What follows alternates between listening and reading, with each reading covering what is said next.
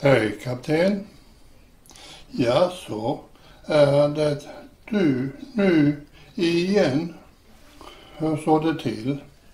Kliar så förfärligt i min vänstra fot.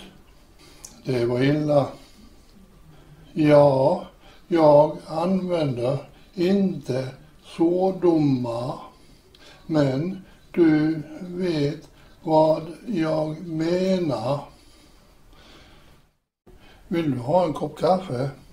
Nej tack. Här kommer en kopp kaffe i alla fall. Ser tunt ut. Jag har hällt i lite brännvin i kaffet. Jag nyttjar inte sprit. Jaså, inte?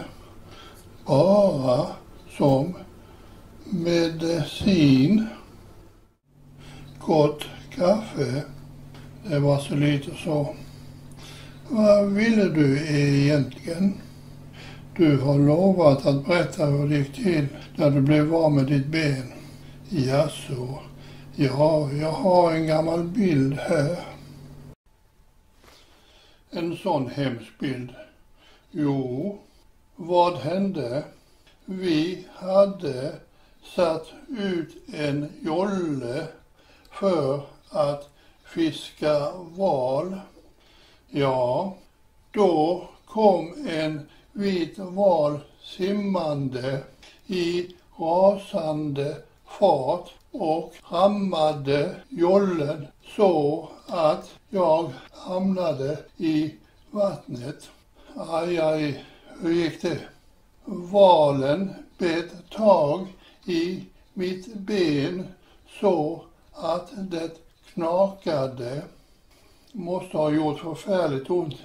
Jo, men vi valfiskare måste tåla ett och annat. Men hur länge satt du fast i valenskap? I tre dagar och tre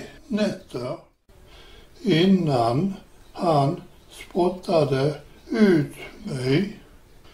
Men, men benet då hamnade i valens buk.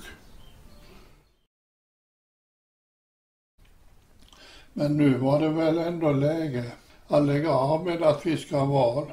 Nej, han, valen, har mitt ben i sin buk. Jo, men jag vill ha tillbaka mitt ben.